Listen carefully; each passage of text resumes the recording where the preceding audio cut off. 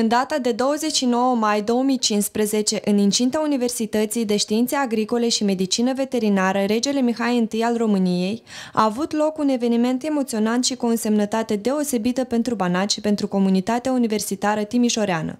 Înființarea acestei instituții de învățământ superior a avut loc datorită regelui Mihai I, care a decis prin decret regal să pună bazele facultății de agronomie, instituție care la acea vreme funcționa în cadrul Universității Politehnica din Timișoara.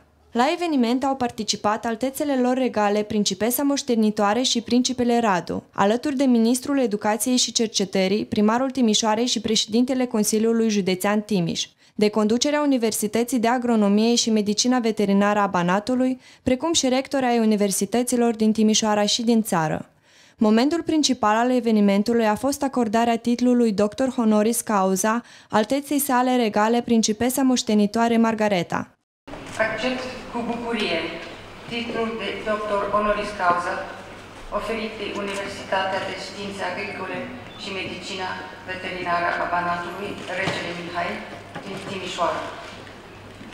Sărbătorim împreună Vă mulțumesc pentru onoarea pe care o faceți familiei mele și mie la aniversarea a 70 de ani de la fondarea instituției, prin decret regal semnat de majestatea sa, regele Mihai I, tatăl meu. Nu pot vedea generosul vostru gest drept o recompensă personală, ci mai degrabă ca pe un omagiu adus regilor Carol I, Ferdinand, Carol al II-lea, Mihai și reginilor Elisabeta, Maria, Elena și Ana, înaintașii mei. Casa Regală a României, la aproape 150 de ani de existență, a privit educația drept una dintre datoriile ei constante.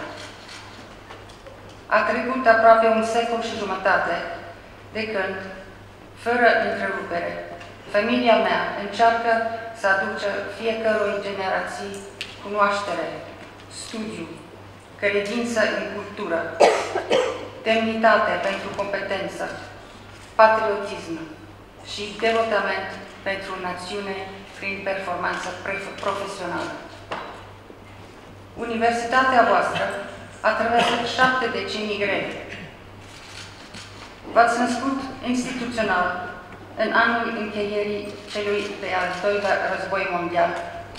Ați traversat întregul război rece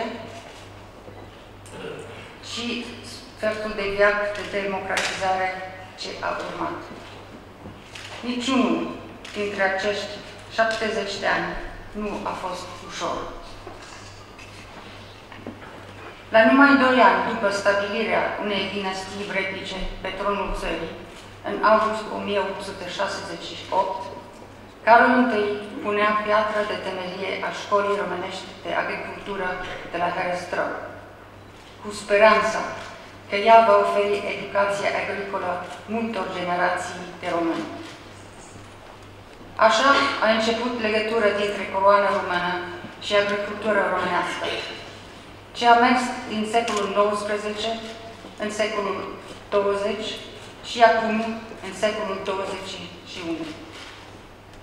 Astăzi mă adresez vouă în numele înaintașului meu, cu vie mulțumire pentru tot ce s-a realizat în, acest, în această universitate și cu convingere că studenții voștri vor duce mai departe țara aceasta binecuvântată. Așa să ne ajute Dumnezeu.